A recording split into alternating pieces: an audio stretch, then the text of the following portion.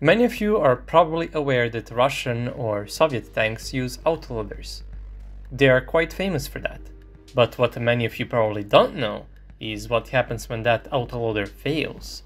Is it actually possible to load the tank manually? The information for this video is mainly taken from a Yugoslavian T-72 manual, or rather M84 and T-72 manual from 1991. I used other sources, but we will get to them later. Now, there are two different ways to load a tank if a failure of autoloader occurs. There is a semi-automatic manual procedure and a completely manual one. Semi-automatic manual procedure is conducted if the autoloader is working partially or if there is some issue with the electronic system which would automatically guide the autoloader. In any case, the procedure goes a little something like this. The gun of the tank is brought and locked into the loading position. There is a light which indicates when that happens.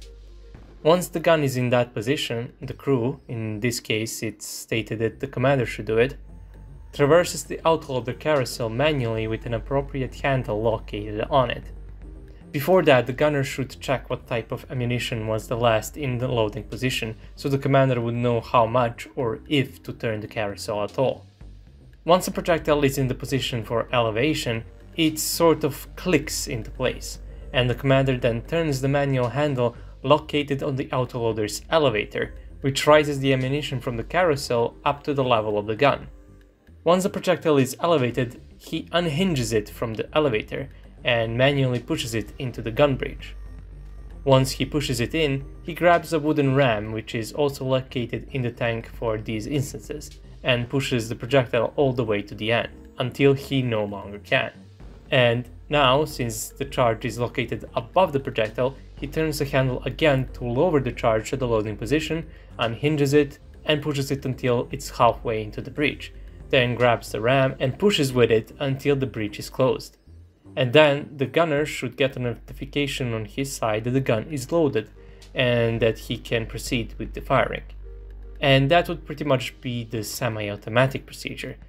Note that it can happen that either the elevator or the carousel are completely functional, and one of them is not. Then only the specific procedure for each part is taken, not the entire process. But what about a completely manual procedure? Well, this one I would imagine is much more rare than the previous one. The tank is loaded manually mostly only if the autoloader is physically damaged and the rotation of the parts is impossible. In that case, the gun is brought into the loading position, and then the commander grabs one of the ammo pieces from the tank's internal storage. He grabs the desired projectile, also pushes it all the way down with the ram, grabs a charge, and does the same pushes it with the ram until the breech is closed. Sounds much simpler, but I would imagine it's much easier to just turn some handles and push the ammo in, rather than going around the tank and picking up pieces of ammunition. It should be noted that all T-72s have pretty much the same autoloaders, with slight changes over the years, but the premise has always remained the same. All T-72 based tanks also share the same kind of autoloader, from Polish PT-91 Twardy to ex-Yugoslavian M84 and even T-90. All share the same type of an autoloader. Now, the spent duds can also be ejected manually when the gun fires, or in extreme cases, elevated back down into the carousel.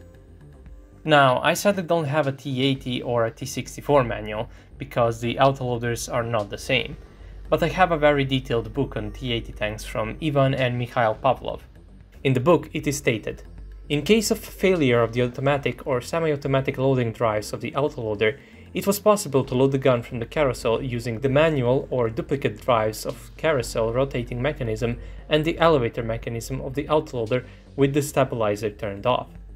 The gun could also be loaded manually with the shells taken from the non-mechanized ammunition racks of the tank. At the same time, bringing the projectile to the gun when it is brought to the loading line was carried out manually with a rammer located in the clips under the commander's seat. So yeah, pretty much the same situation there. Well, there you go, now you know how the Russian, or rather Soviet tanks are loaded manually. Keep in mind that autoloader failures are extremely rare. If properly maintained, they will outlive many parts of the tank. And apparently they are so rare that the Russians decided to first remove all extra ammunition from the fighting compartment of T-90M, making it completely impossible to load if the autoloader is physically damaged, and then completely disconnect the autoloader from the crew in T-14 Armata, making it completely impossible to load the gun in a semi-automatic or manual way.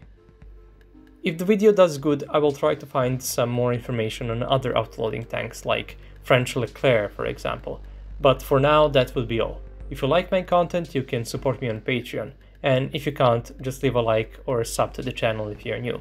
I hope you learned something new today, and I'll see you all in the next video. Have a nice day.